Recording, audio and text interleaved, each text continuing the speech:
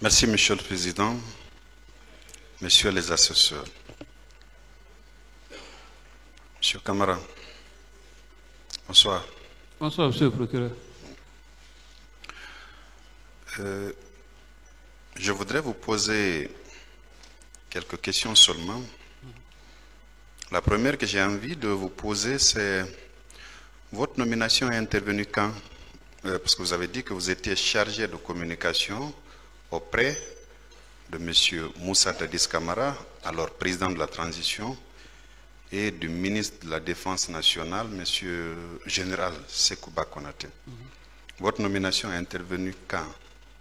Après euh, que le CNDD ait été installé, que le gouvernement ait été mis en place, c'est longtemps après l'installation du régime et les premières nominations que cette nomination est intervenue euh, de commun accord entre euh, le capitaine Dadis et son compagnon d'armes, le général Sikouba Konaté. C'est longtemps après la mise en place euh, du régime. Votre collaboration a duré combien de temps?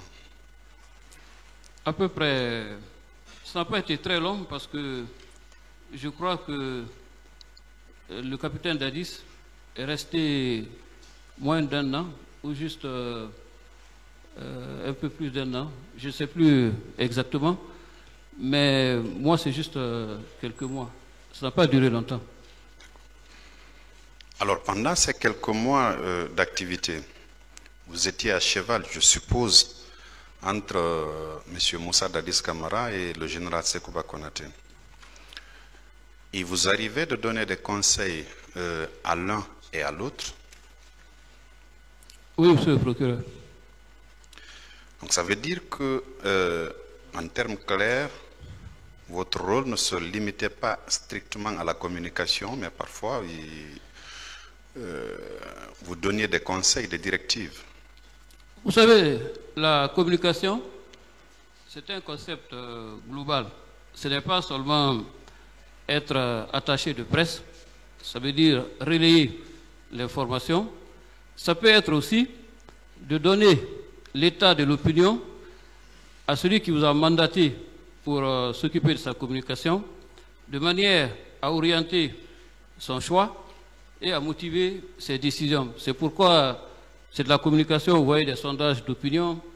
Ici, ce n'est pas un sondage d'opinion, mais puisque nous sommes en contact euh, plus souvent avec la réalité que les chefs d'État qui sont à un niveau très élevé de la fonction d'État, nous partageons la perception que la population pourrait avoir de leur action, de leur œuvre, pour que, euh, s'ils le souhaitent, ils en tiennent compte dans la façon de faire et de décider. Donc, indirectement, on est impliqué à donner des conseils à partir du moment où on est proche de l'opinion et on sait à peu près quelles sont les grandes tendances au sein des populations. En termes clairs, puisque euh, tous les deux, M. Moussa Dadis Kamara et le général Sekouba Konaté étaient des militaires. Euh, ils exerçaient parfois des fonctions politiques. Et vous, vous êtes un civil. Est-ce qu'il vous arrivait de donner des conseils à connotation purement politique? Je viens d'en donner l'exemple en disant, par exemple, que j'avais convaincu le capitaine Moussa Dadis de former un gouvernement d'union nationale et qu'il était d'accord. Ça, c'est un conseil à connotation politique. Et justement parce que je donnais des conseils chaque fois que j'en avais l'occasion, où il me le permettait, c'est pour cette raison que le général Sekouba Konaté, que je ne connaissais pas avant euh, la mise en place euh, du CNDD, lorsqu'il lui a été donné de conduire la seconde phase de la transition, ayant pris le temps de me connaître et de discuter avec moi, m'a fait confiance pour faire de moi son homme de confiance dans la deuxième phase de la transition. C'est le résultat des conseils que je donnais. Parlant des événements du 28 septembre, des douloureux événements du 28 septembre 2009, vous avez assisté à l'échange entre M. Moussa Dadis Kamara et le président de l'UFR, M. Sidia Touré. C'est par votre téléphone que cette communication a bien eu lieu. Quel était le ton employé par M. Moussa Dadis Kamara ce jour? Le temps de la négociation et de la recherche d'un compromis avec euh, un interlocuteur qui avait une position différente de celle euh, qu'il avait souhaité euh, qu'il ait. Donc c'était sur le temps de la courtoisie. Et comme je vous l'ai dit, c'est lui-même qui m'a demandé d'appeler le président de l'UFR. Cela suppose qu'il y avait une relation de confiance et d'estime. Et donc, si tel est le cas, on peut l'imaginer, on ne peut pas commencer la discussion avec euh, un interlocuteur privilégié avec lequel on a des relations de courtoisie et de confiance sur un ton combinatoire. Alors, visiblement, c'est. Excusez-moi. Monsieur Sidia Touré a dû dire au président, Monsieur Moussa Kamara, qu'il se faisait tard, qu'il ne pouvait pas joindre les autres organisateurs pour leur faire part d'un quelconque report. Après, est-ce que Monsieur Moussa Dadis n'a pas eu euh, un langage colérique pour dire à M.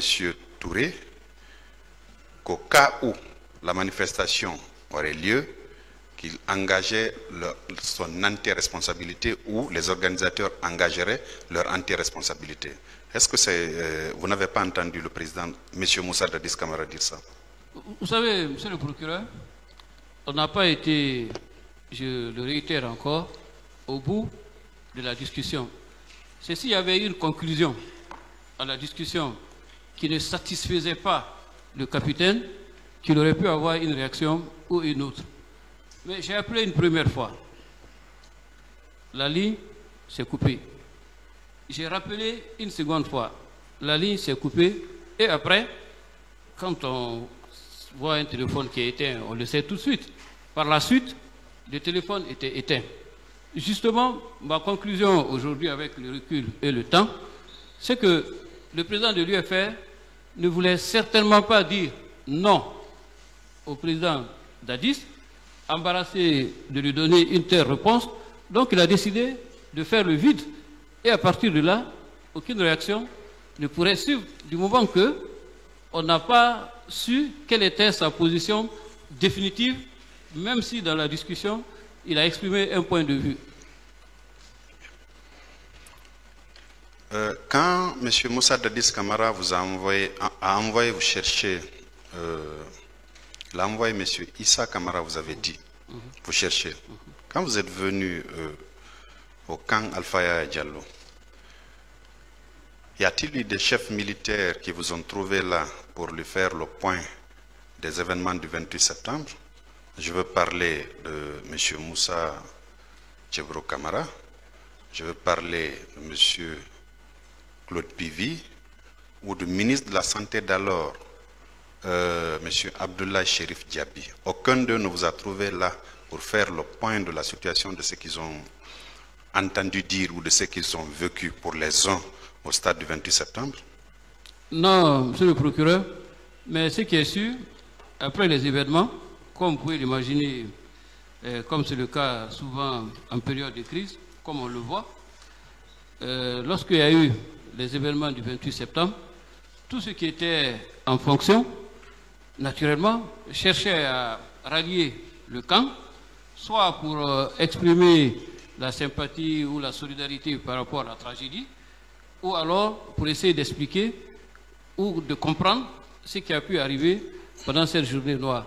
C'est tout à fait normal, même si je n'ai pas vu quelqu'un en particulier, que lorsqu'il y a une crise, que tout le monde converge vers le siège du pouvoir et le chef-lieu de décision, si on peut dire comme ça, pour euh, savoir quelle est la situation qui prévaut.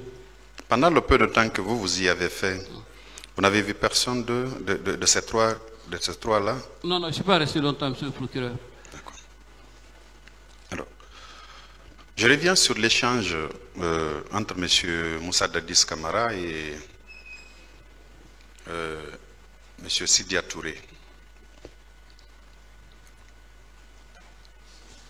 M. Moussa Chebro Kamara était bien dans la pièce où M. Moussa Dadis Kamara parlait au téléphone avec M.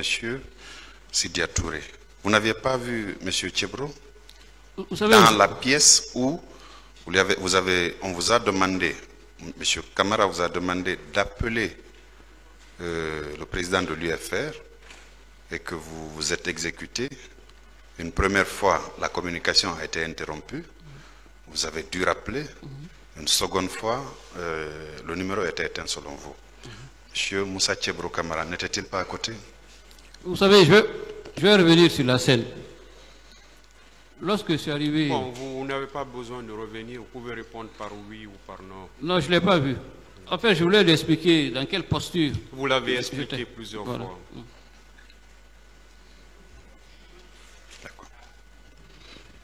Je termine par euh, votre démission qui est intervenue le 2 novembre 2009. Je voulais savoir si c'était un acte de, désapprobation par rapport à tout ce qui s'est fait ou c'était pour la conscience et la mémoire collective euh, de la République que vous avez rendu votre démission pour dire que vous ne vous associez pas à toute cette tragédie qui a eu lieu au stade du 28 septembre, le même 28 septembre. Deuxièmement, que vous, vous, vous étiez impuissant de donner une quelconque réponse à ce qui était arrivé. Et donc, pour vous, la meilleure façon était euh, de rendre le tablier pour ne pas qu'on vous associe à tout cela. Merci, monsieur le procureur. Je vais expliquer exactement les raisons de ma démission dans les termes que vous venez d'évoquer. Je pourrais vous en donner une copie. Merci, Monsieur le Président. Merci, Messieurs les assesseurs. Le parquet en a fini.